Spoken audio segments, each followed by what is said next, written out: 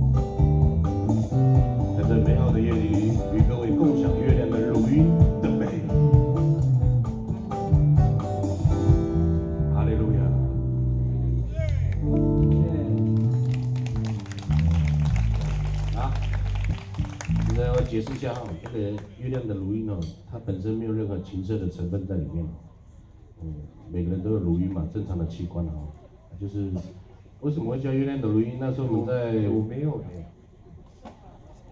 我有美白。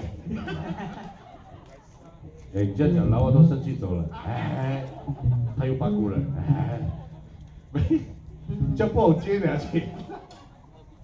总而言之，总而言之，那天，那你要不要看嘛？哎，这边有没有人做保全？是警卫的工作呢？等一下再讲了，阿威。